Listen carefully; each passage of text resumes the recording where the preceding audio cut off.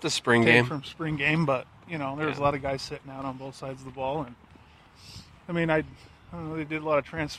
You know, Woodward looked really good. He got really good Yeah. closing speed, and he just needs to add another 20 pounds or so and keep that closing speed. But they got they got a good core of young guys, and it'll be interesting to see when the you know this year's recruits come in, you know, in June or whenever they're going to get here. Yeah, I think see what they can contribute.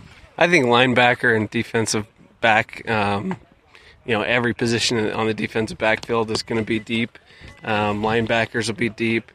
Um, defensive line is is somewhere that hopefully, hopefully we'll uh, we'll have um, we'll have a little bit more depth and some uh, some recruits coming in. So.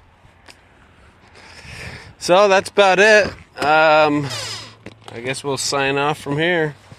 Uh, talk to you soon. See ya.